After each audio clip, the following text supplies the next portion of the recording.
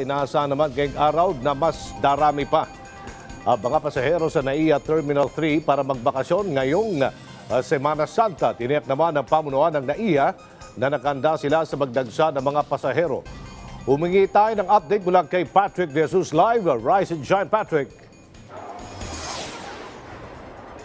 Yes, Aljo, maaga pa nga lang ay unti-unti nang dumarating ang mga pasahero rito sa NAIA Terminal 3. Ito ay para umuwi sa kani kanilang mga probinsya at magbakasyon kaugnay ng Semana Santa.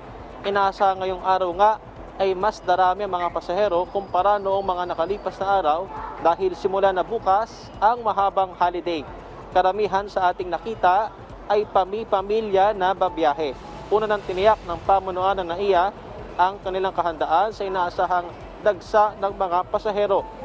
Ang mas maraming pasahero ngayong taon ay dahil na rin sa mas maluwag na COVID-19 restrictions. Sa mga oras ito, Aljo, ay wala pa namang abiso ang NAIA ng kanseladong flights. At uh, Aljo, dito nga sa may labas ng NAIA Terminal 3, ay ah, hindi naman ganun kahaba yung pila ng mga pasahero dito sa may gate papasok ng ah, check-in counter. Pero abiso na nga lang din sa mga babiyahe o sa mga pasahero dito sa NAIA ay siguraduhin uh, dala yung uh, kinakailangang ah, travel requirements pati na rin yung ticket para nga iwas aberya at ah, hindi na rin sila ma-delay sa kanilang biyahe. At syempre dapat 2 hours before o dalawang oras bago ng kanilang flight ay nandito na sila sa may terminal. At yan muna ang pinahuling ulat mula rito sa NAIA Terminal 3. Balik sa iyo, Aljo.